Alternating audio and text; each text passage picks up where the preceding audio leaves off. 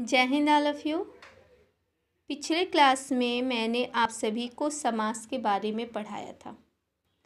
समास को पढ़ाते समय मैंने आपको समास के भेद भी बताया था।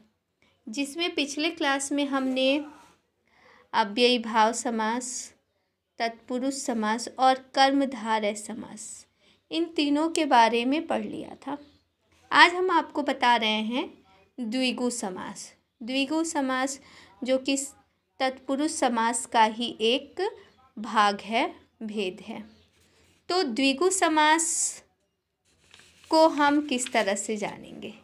द्विगु समास उस समास को कहते हैं, जिस समास का पहला पद संख्यावाचक और दूसरा पद दूसरा पद जिसे हम उत्तर पद कहते हैं समूहवाचक हो। उस समास को हम द्विगु समास कहते हैं। ठीक? इसमें पहले पद जो आ, की जो प्रधानता बताई जाती है वह संख्यावाचक होता है और दूसरे पद का समूहवाचक होता है। जैसे चौराहा सप्तऋषि दोपहर। तो इसका विग्रह हम इस तरह से करेंगे, चौराहा। चौ मतलब संख्या हो गया चार और राह मतलब राह। चार राहों का समूह। उसी प्रकार सप्तऋषि तो सप्त मतलब सात और ऋषि मतलब ऋषि। तो सात ऋषियों का समूह। ठीक है? पहला पद संख्यावाचक है, दूसरा पद समूहवाचक है और विग्रह करते समय हम लिखेंगे सात ऋषियों का समूह। उसी प्रकार दोपहर दोपहर तो दो मतलब दो और पहर मतलब समय।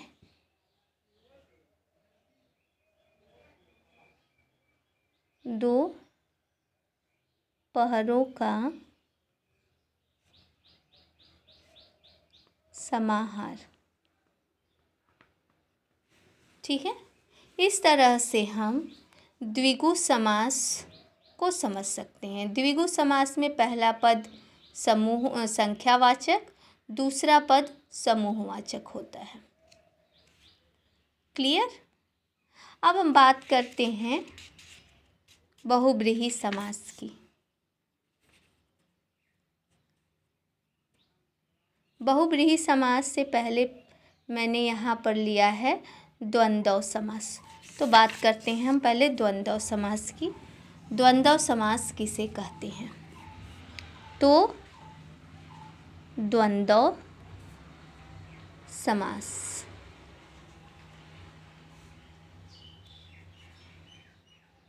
तो जिस समास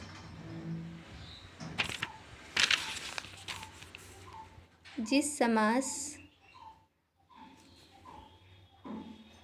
में दोनों पद की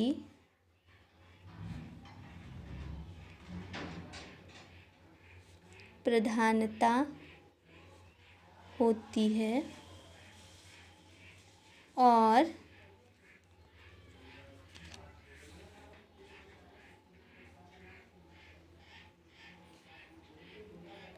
विग्रह करने पर जिसमें और या तथा अथवा आता है उस समास को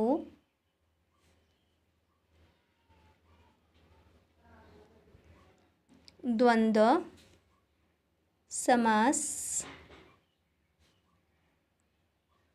कहते हैं। जिस समास में दोनों पदों की प्रधानता होती है और विग्रह करने पर जिसमें और, या, तथा, अथवा आता है, उस समास को द्वंद्व समास कहते हैं। जैसे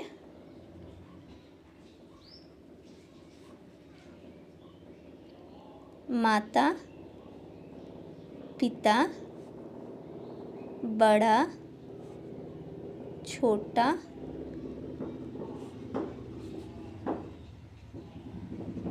आओ जाओ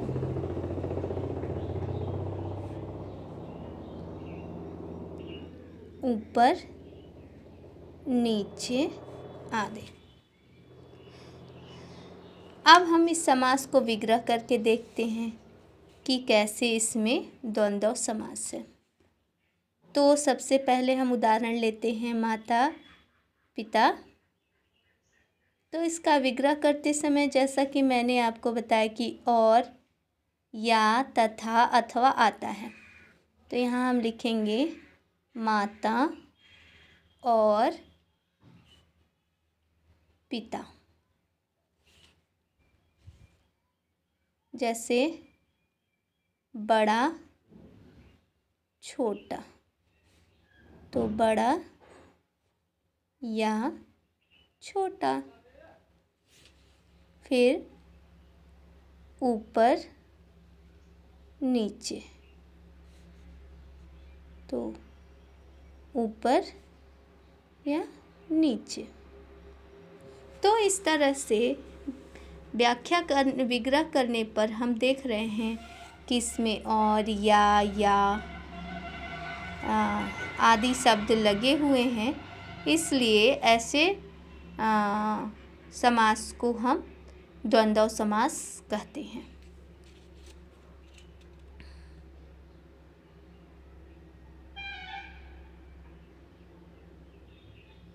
अब हम चलते हैं बहुब्रीही समास पर। बहुब्रीही समास? बहुब्रीही समास उस समास को कहते हैं, जिस समास के दोनों पद प्रधान न होकर किसी तीसरे पद की प्रधानता बताते हैं, उस समास को हम बहुब्रीही समास कहते हैं। जैसे दशानन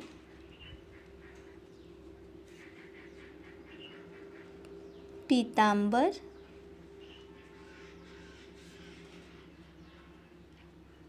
चक्रपाणी। ठीक है? तो यहाँ आप उदाहरण में देख रहे हैं दशानन पीताम्बर और चक्रपाणी। तो जब हम इसका विग्रह करेंगे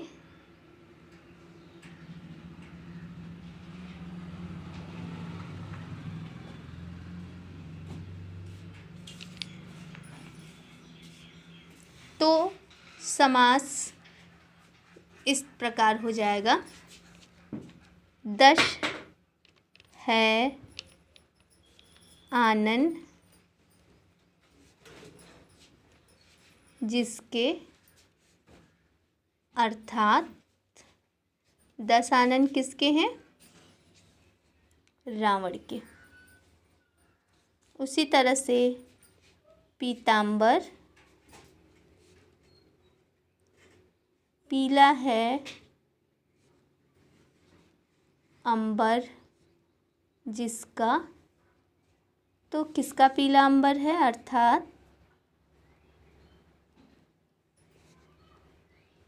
विष्णु के। उसी तरह से चक्रपाणी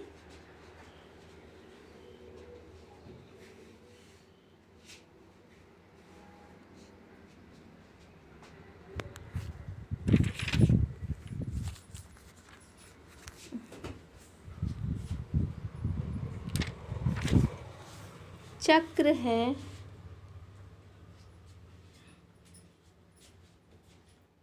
हाथ में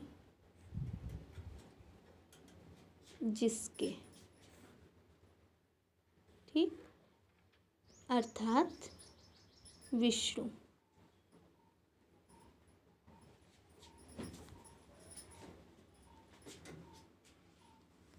तो इस तरह से हम बहुब्रीही समास को समझेंगे।